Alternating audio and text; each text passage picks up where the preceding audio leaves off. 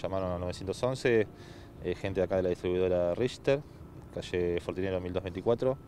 Eh, bueno, nos constituimos en el lugar y, se constató que durante horas de la noche, eh, previo violentar una reja de que da una oficina, autores ignorados hasta el momento ingresaron al lugar y de, adentro de una caja fuerte que estaba abierta, digamos que no estaba, que estaba en desuso, eh, se trajeron eh, cheques y bueno, algunos valores y algo de dinero efectivo que la empresa no me pudo precisar hasta el momento.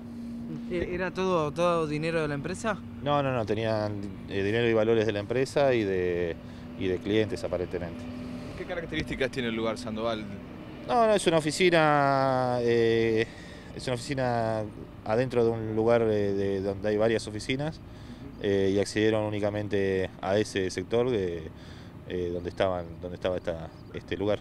Da la sensación que fueron directamente a ese lugar, no se ve otro desorden. Sí, sí, sí, sí, estuvieron en esa oficina únicamente, eh, también en la oficina creo que estaba cerrada con llave, no pudieron acceder al resto, de, al resto del interior, pero bueno, no accedieron al galpón, no accedieron a ningún otro lado.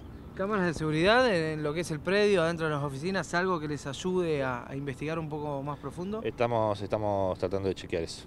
¿A qué se dedican Sandoval en este lugar? Es una distribuidora, es una distribuidora, una empresa de transporte y distribuidora de, alimentos y, demás eh, elementos.